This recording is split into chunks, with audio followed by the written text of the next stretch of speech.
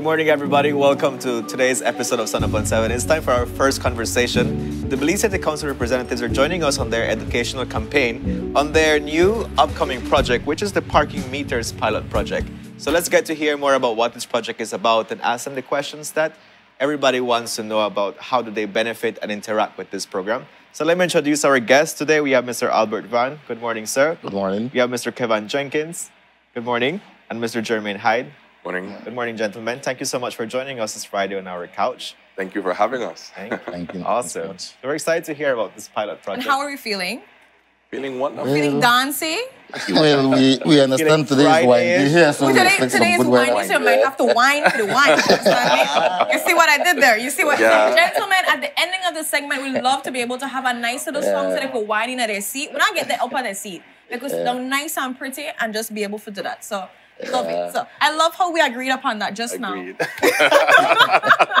And so we'll get into the conversation now. Okay, so sure. probe up the people, get them excited Yes, about what's yeah. happening. So Kevin posed a very interesting question because Chantal was talking about your parking meter. She got so excited, but why? Why should people even get excited about parking meters? So can you give me the excitement, the importance of why it is important to have a program of this magnitude? I um thanks again. Um, I'm sure, I'm sure you work in Dongtong here face the many challenges that people have parking finding parking space. One of the, I think one of the benefit from these parking meters, which is a project, a one-year project, where we're doing it as a project, and um, I guess we want participation, so at the end of the year we can figure more or less how this thing affects us. But I think one of the one of the um, benefit we're getting from it is the social impact of it. The social impact of it that everybody who drives in this area will be able to have a parking space, which they don't have now. Yes. And I think that is important, How, right? how, does, how does that work though? Like, are you going to be creating more parking spaces? Because these parking spaces are limited. Well, well, again, uh, again, remember the city, the city does not provide parking for for new businesses, no.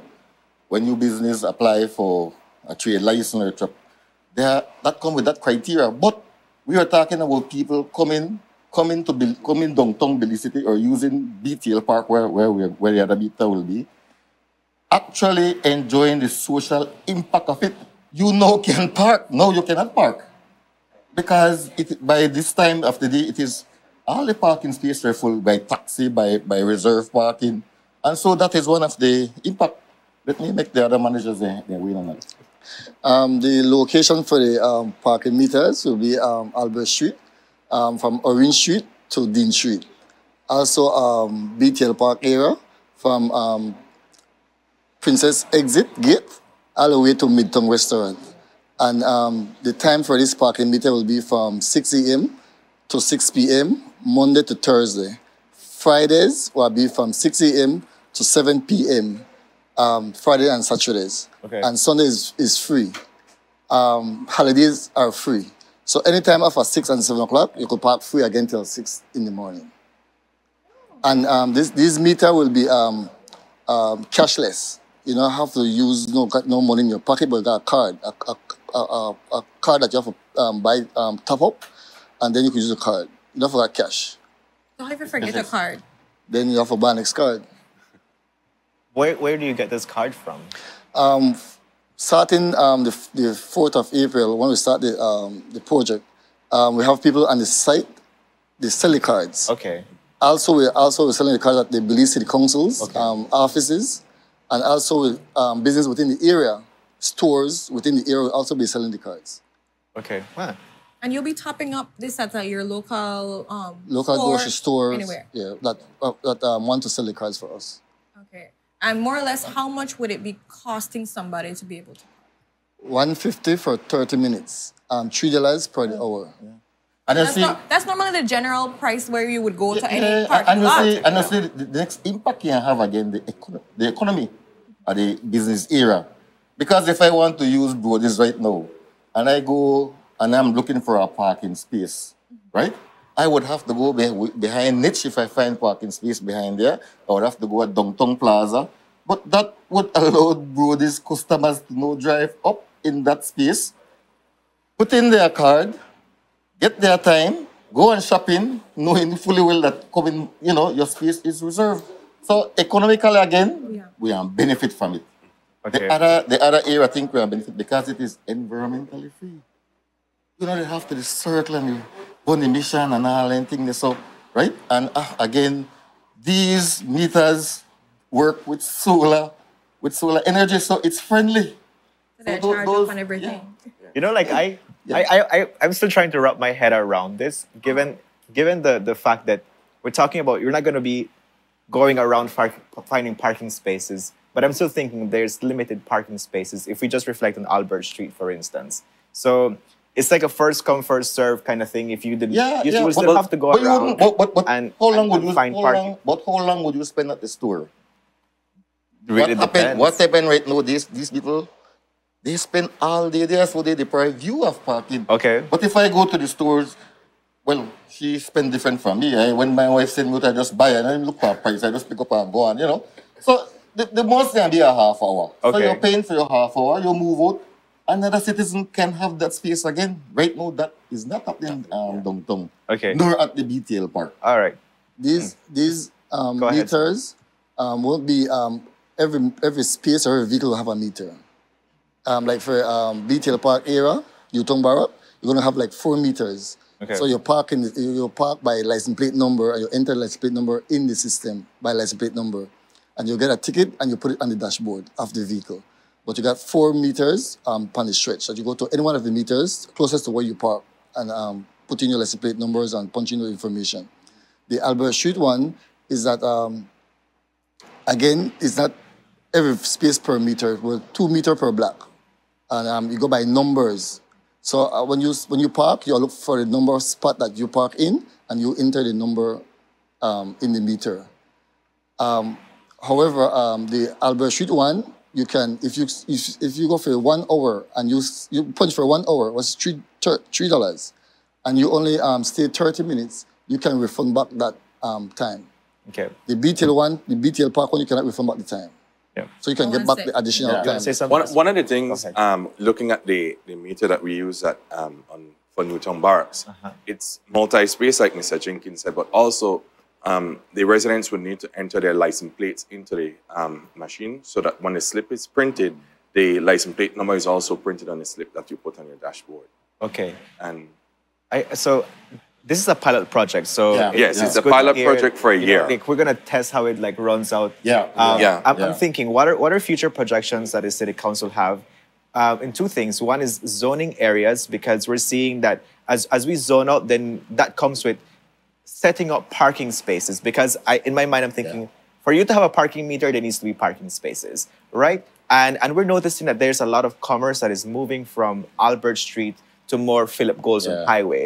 So is there like any uh, any any thoughts on, on zoning and Well- then how are you gonna be Hence the reason for the consultation and this pilot project, because the, the aim of the project is that within this year, we get to collect as much data as possible. We sit down, we look at the information that has been collected, and then we see what would be viable areas to extend if there's a need to extend the project.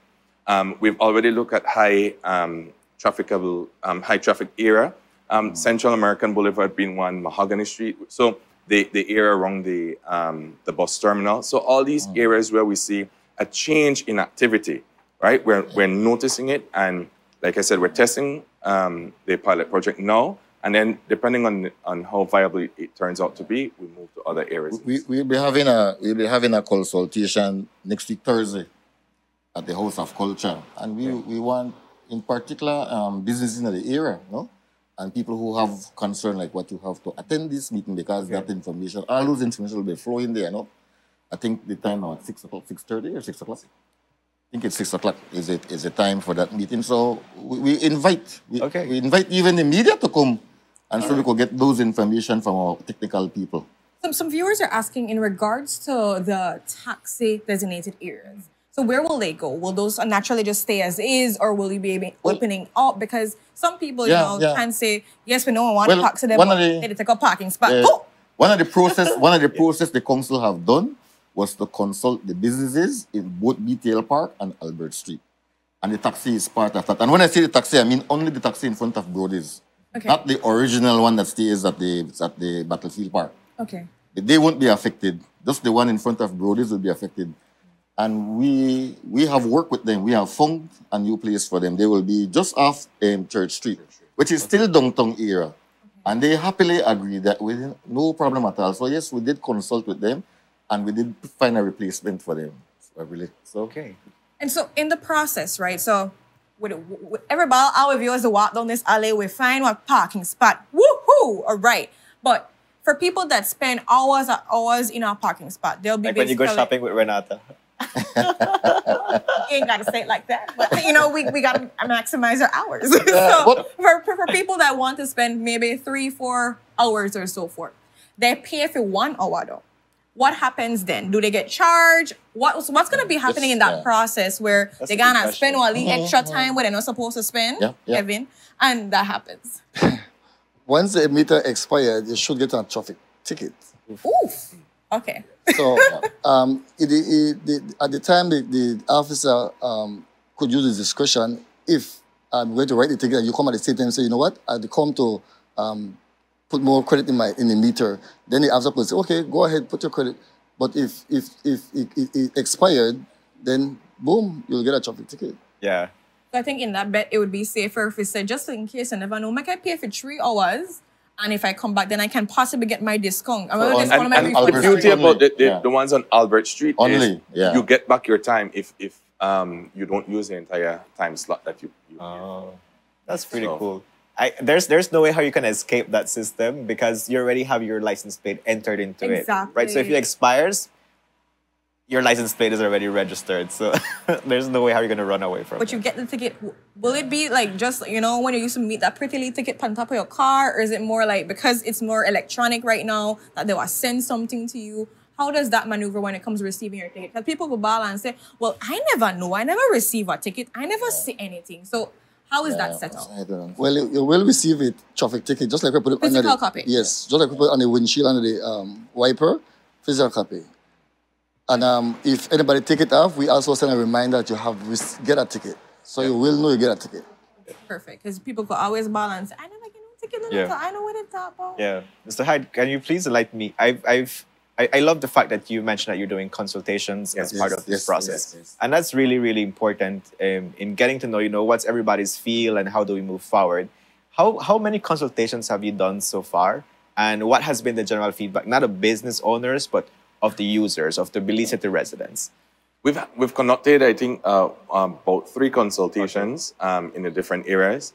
Uh, for um, the ones for downtown, um, we've included all the the business owners, um, the banks, um, the taxi, the presidents of the taxi association. So they've all been a part of the conversation because, like you rightly said earlier, we have a limited amount of space, and so when we were um, re- we're relocating these taxis and removing some of the par- um, private parking that were out here, we had to bring them to the table and let them know what we were doing and, and the, the, the outcome that we wanted, right? And when you get everybody to be a part of the discussion, then they buy into the program and, and they, they embrace it.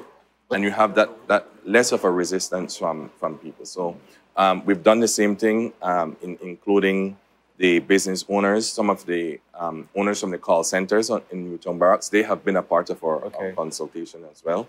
We've had residents from the area as well, from Newtown Barracks, who have sat in our consultation, and, and they've had that opportunity to disclose some of their what they're feeling.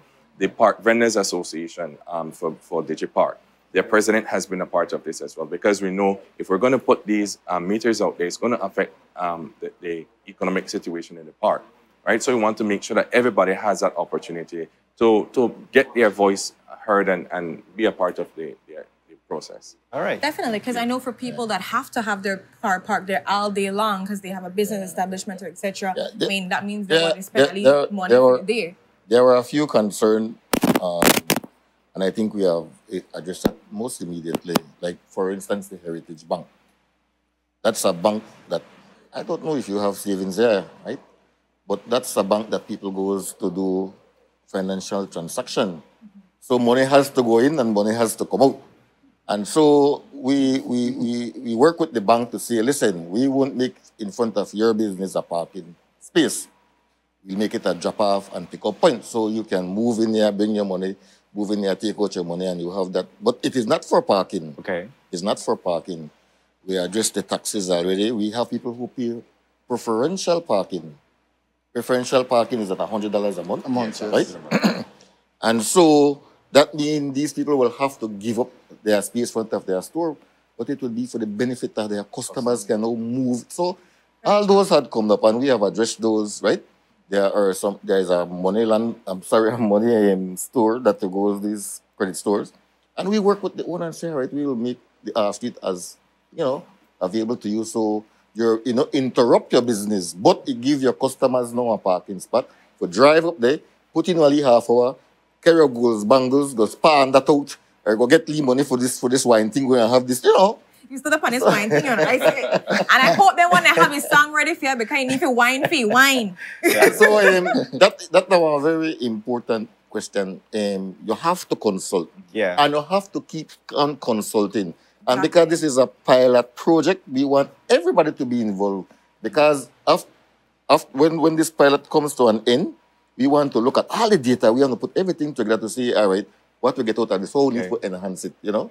And so consultation is Yeah. very, very important, and we continue doing Right. that. So We're consulting right now with the media Right. to help us. Definitely. So as, as, as we wrap up this conversation, um, so we're saying April 4th is, is when it starts. April 4th Yeah. is a one year pilot project. We're gathering as much information as we can so that afterwards we can look at other areas in the city. All right. And and what's the overall feel of the municipality? Are are, are they excited? Or they feel like it's gonna be something I- promising? Well, People What's- happy what's that the- get parking. Well, yeah, what's the general I, I vibe? think that, I think that is it. Yeah. Um, people are happy that we, we, we've listened to the cry because Yeah. this has been a concern for a while now. So we're addressing um, we're addressing this, and what we want to do is to move the city towards a smart city.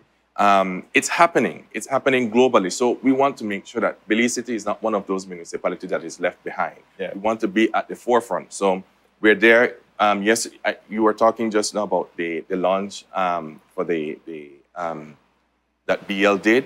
Again, these are steps that you're seeing moving the city towards being a smart city. And so we want Belize City to be there and, and we want our residents to be a part of that process with us. Yeah. You got Chantel excited when she heard parking parking meters. I feel a lot of people are excited because the idea again Well- to get parking that they was struggling in a life. You're just for some reason they're always a struggle, and I guess the ticket will appear on the top of your car. So just know it's going to be there. It's definitely Yeah. going to be there. But thank you so much, gentlemen, for being here, Thank for you, giving us the you. update. April 4th, guys, on a need to go get on a card on a have to pay for these things, and on a can't just pretend and pop up and say, I did park here and I just put me money at the top of the card. They don't do it like that. So please make sure you get out and get your card. Actually, put money in your card so don't get no empty card and don't have no money in it. Cause that no work so either honey bun. But thank you so much. Do we have the music for these gentlemen for do Ali wine for the wine? Do we have it? Yes, and so we wind we wind off What into the sunset Into and the go. and when we're back, we're gonna be talking about customized sneakers. Artists are defying all things out there and they're creating art on sneakers. So if you got white sneakers, black sneakers, whatever it is, and you want it to be brightened and livened, we have that for you as well. So stay tuned for that exciting demonstration conversation. We'll be right back. You wanna wine? Wanna wine? No, wanna wine. That you asked for the wine. Um, Whiny, whiny. That's a good That's song. a good It's a song. really It good really song. was a yeah. good song. yeah.